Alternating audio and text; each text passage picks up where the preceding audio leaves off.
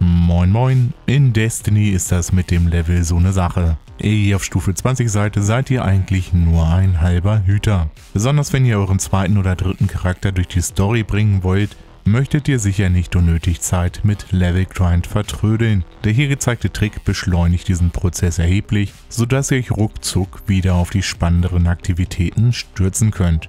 Was ihr im Hintergrund seht, ist die letzte Phase der Quest, mit der ihr ein neues Fokuselement bekommt. Dazu benötigt ihr zunächst den rissigen Talisman, den ihr in Kisten in den öffentlichen Zonen auf der Erde, Io, Titan oder Nessus finden könnt. Und falls ihr unsicher seid, wie das mit der Focus Quest funktioniert, seht ihr ein Video eingeblendet. Kurz bevor ihr eure Focus Quest im Düsterwald abschließt, erscheint ein starker Gegner. Ignoriert ihn einfach und sucht euch stattdessen eine Stelle, wo die vielen kleinen Schergen spawnen. Stellt euch hier auf einen der gold leuchtenden Flecke in der Nähe und wartet auf die Respawns.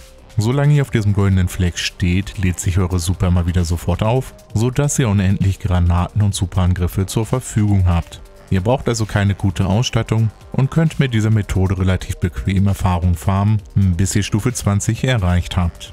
Darüber hinaus lohnt sich diese Stelle nicht mehr weiter.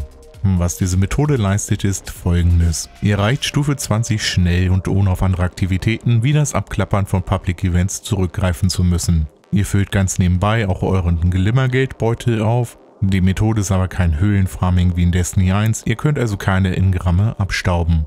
Während meines Tests droppte nicht ein Ingramm, nicht mal ein grünes.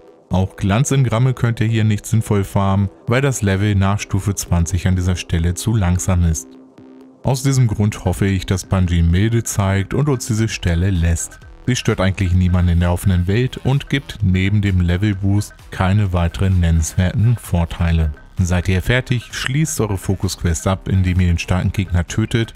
Das war mein kurzer Boost-Tipp an dieser Stelle. Ich hoffe, das hilft euch weiter. Ich wünsche euch weiterhin noch viel Spaß mit Destiny 2. Macht's gut und bye bye.